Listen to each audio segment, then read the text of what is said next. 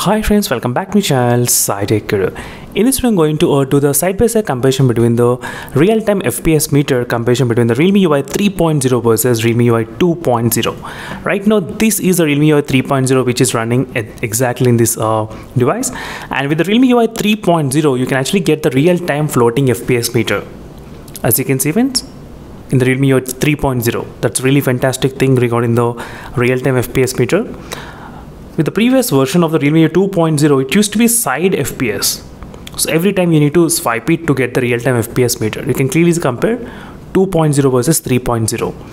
3.0 has got really very good advantage friends which is a floating fps meter not only that you can actually tap on this one and which makes really small fps like it's not that big right that's very good a neat feature which I did like regarding the FPS count.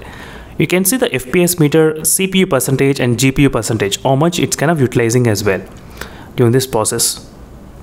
So while gaming this really useful uh, feature, real-time FPS meter, this is in the Realme UI 2.0. You can clearly see, you can see the FPS meter, but it's kind of covering off of the game, like 30% of the game area, 30 to 40%.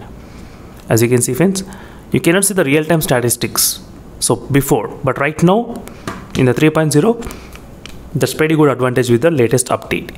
Meanwhile signing off friends thank you for watching. And instead for more updates and bye